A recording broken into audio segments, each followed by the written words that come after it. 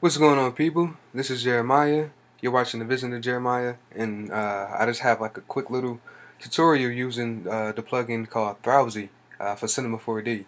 Um, you know, I just posted up a um, another video dealing with uh, breaking objects without using any third-party plugins. Well, this tutorial I'm gonna show you how to do this with a third-party plugin called uh, Thrausi and um, it's pretty um, it's pretty neat. Um, it, it was pretty fast and um, you know, kind of efficient in a way, um, opposed to what you know I just showed you. Uh, you know, but they essentially all do like the exact same thing.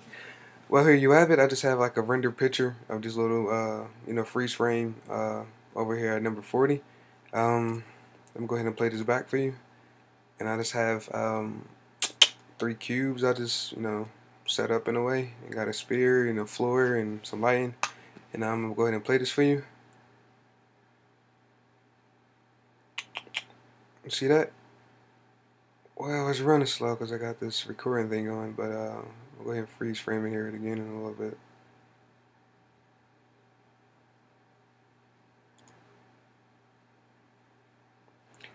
And what Thrausi does, it kind of automatically make um, cuts, you know, it kind of cuts up any type of object, everything for you. Um, like I said, uh, you can accomplish what you see like in the little professional videos, like the Superman videos and how they how to be destroying buildings with like alien crafts and all that good stuff. You can do that essentially with any type of 3D application, uh, you know, whether it be Cinema 4D, 3ds Max, Maya, Blender. Uh, you can accomplish that, uh, you know, very simply. So let's go ahead and jump right into it. Um, I'm gonna go ahead and exit out of this one. Something simple I just did, and um, Thrausi is pretty fast. Just to, uh, I just cut it up twice, just so I can go ahead and have some more pieces. I'm gonna just go ahead and cut it up once uh, this time though. I'm gonna go ahead and uh, mess around with my uh, y-axis to make this a little bit more longer or taller. And uh, I got this plugin called Drop the Floor, and uh, we're gonna drop that to the floor and. Um, for me, I'm on a Mac. I'm gonna hold Command, click my uh, cube, and just make uh, copies of it. Set them up. Copies of this one. Push that back. Go back to the original one. Copies of that one. Let's push that back. Now, with all these selected, plugin, browsing, and uh, break this over here. We'll go to my dynamics, dynamic tag, and um, from uh, I'm gonna switch immediately to on collision and I'm gonna just crank up the pieces to about like what 20 in fact about 15 just to go ahead and make this a little bit more faster. What I'm gonna do is hit break objects and it should break up pretty you know fast. Look at that. Pretty cool.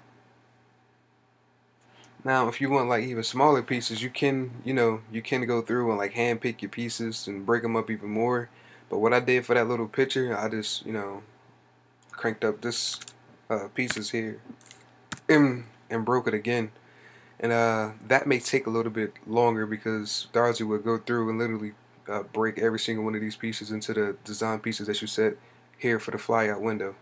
Um, but that's pretty cool. I'm gonna go ahead and add in the floor.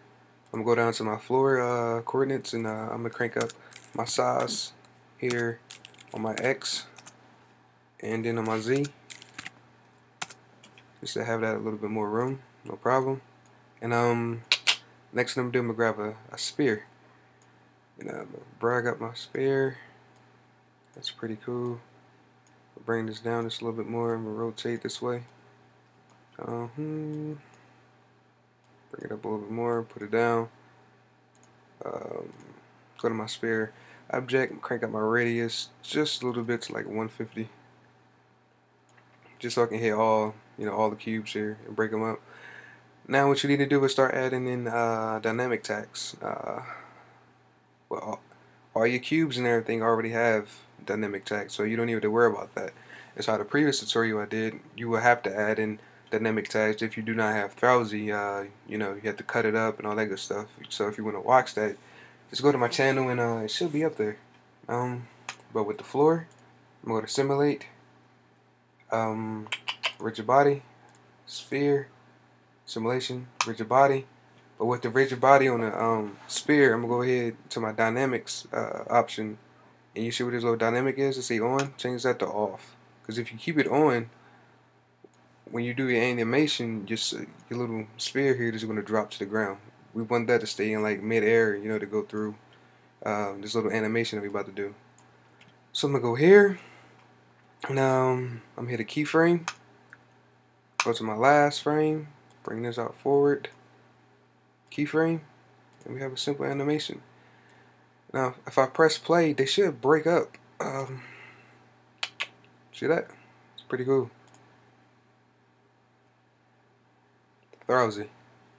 Quick, simple, um, but if you do not have it, there's also multiple ways to come up with the same type of effect. And um, like I said, uh, you know, if I actually took the time out or then like a tutorial about a model um, a building and then you know duplicate it and all that good stuff and uh, add in some windows some some shattering whatever and then break it with the Thrausi uh, plug-in and add some and in some type of like you know alien spacecraft or something you would probably get the same type of effect that you see like on uh, Hollywood videos and um yeah that's it. I hope this helps out a lot. I'm Jeremiah. Thank you